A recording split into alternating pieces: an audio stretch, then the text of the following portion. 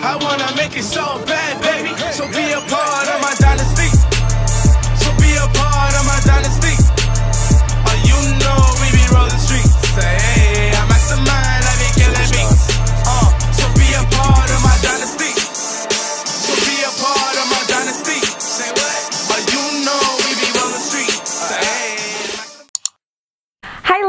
Welcome back to my channel. It's your girl Kelcey and in today's video I'm going to be talking about this new lens that I purchased and I'm going to be comparing it to the lens that I am currently using. So for the lens that I'm going to be talking about, it is the Yongnuo lens and I've seen a lot of people on YouTube talk about this and they also often compare it to the Canon 50mm f 1.8 lens.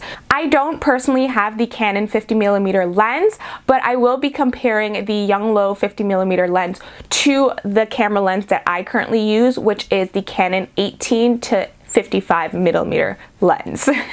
That's a mouthful. So if you guys do want to see me talk about this product and compare it to the lens that I currently use, please continue watching. If you do like this video, please don't forget to give it a big old thumbs up, subscribe to my channel down below, and click that little bell button so you're notified every time I post a video.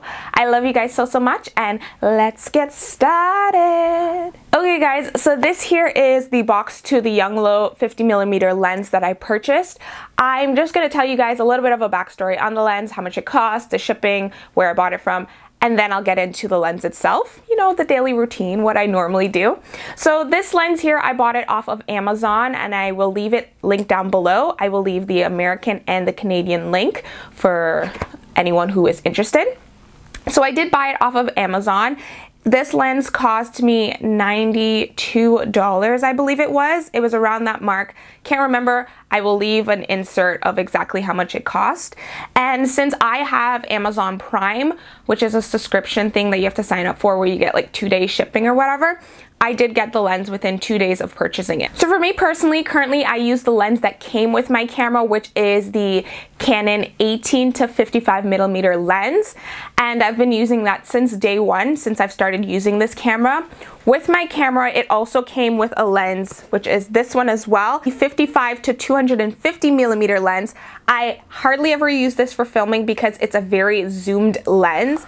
So now for the Yongnuo lens, one of the main reasons that I got this lens is because apparently it is really, really good for focusing and it's really good for like filming and like lighting and stuff like that. My lens, I have a really hard time using like studio lights because I find that for some reason it just does not look good and the quality always looks like trash. That's why I only, only ever use natural lighting. Well, not only, sometimes I do use studio lights, but I prefer natural lighting because I feel like it looks a lot better for example, right now. Another reason why I got this lens is that it is really good for focusing your focusing on you and blurring out your background. I've seen a couple YouTubers do videos where their backgrounds are super blurry and like they've been using this lens. So I really wanted to test it out and try it out and see if it's as good as people have said. Okay, so now getting into the lens itself, the most exciting part of this video.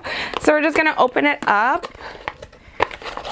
When I got this item, it didn't just come in this box, obviously. They put it in a bigger box and had like stuffing in it. In the box, it also came with a little manual just giving you information and stuff like that on it. Not really gonna go through that because you guys know what a manual looks like. So this here is what the lens looks like, obviously. It comes with the back for like a little cover and that's the part that you put into your camera.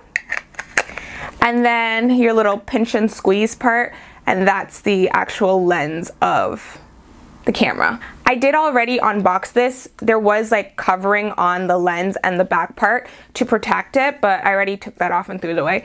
So this here is the lens. So now what I'm gonna do is detach the lens that I'm currently using and attach this one so that we can do the comparison of the lens and see the difference.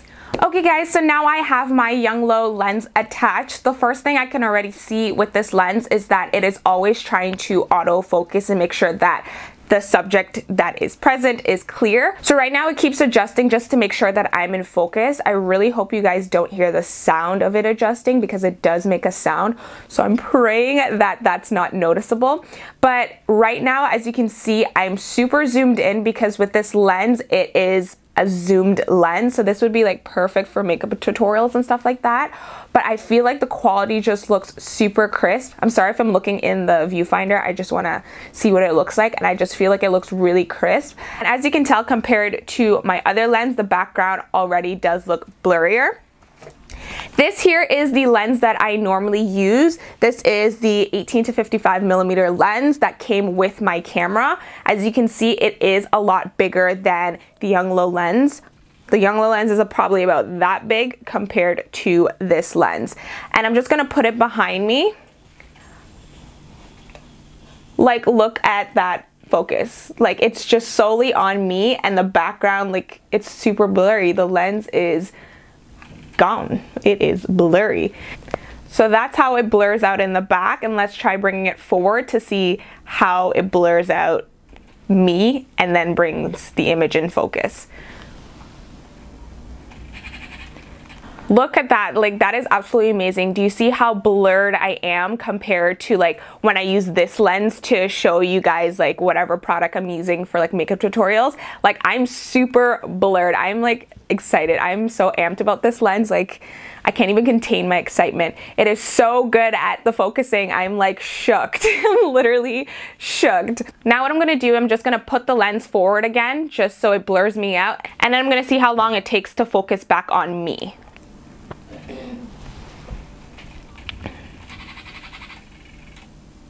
Do you guys see that? Like it it within seconds the camera adjusted and it was back on me for focus. I'm like so excited. You guys don't even understand. Like this is amazing. Anyway, guys, I'm just going to end out the video with the Yongnuo lens because I don't want to switch it again. I really hope you guys enjoyed this video and I hope this like shows you guys like a huge difference, like what lens can do. Like I'm super excited to start filming with this lens. If you guys did like this video, please don't forget to give it a big old thumbs up, subscribe to my channel down below and click that little bell button so you're notified every every time I post a video. All the links to my social media will be listed down below. I love you guys so, so much and I'll talk to you in my next video.